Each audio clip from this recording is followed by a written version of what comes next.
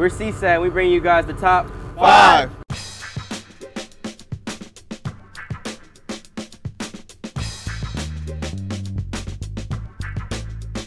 I'm AO3 Brittany Hendricks, And I'm AOAN Marcus Taylor. and we're here from CSADD to introduce CSADD's Stress Management Month. And here are five ways to release stress. Number five is reading. Reading is important. Even it don't matter if you're laying in your rack and you're reading a book for five seconds, or you're in your workspace reading an informative magazine. Having reading a part of your life is very important and release one major way to relieve stress. I'm ABHAN Burgundy Penn, I'm AZ2 Charles Moore, and today we have number four. which is music.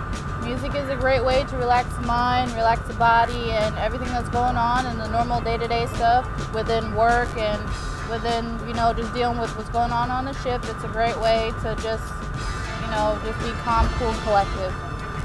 I'm LS3 Demetrius Thomas, And I'm AOAN Marcus Taylor, and we're- I'm here from CSADD, and we're here to promote stress management number three. which is video games.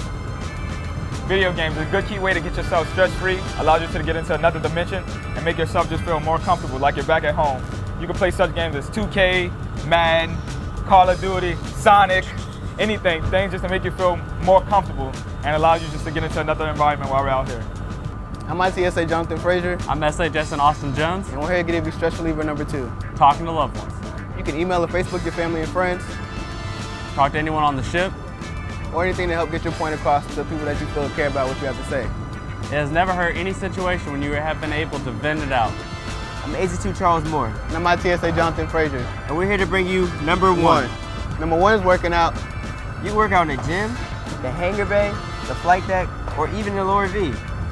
We're CSADD, we're a coalition of sailors against destructive decisions. We meet every Sunday at 1900 in the ship's classroom. We'll see you there.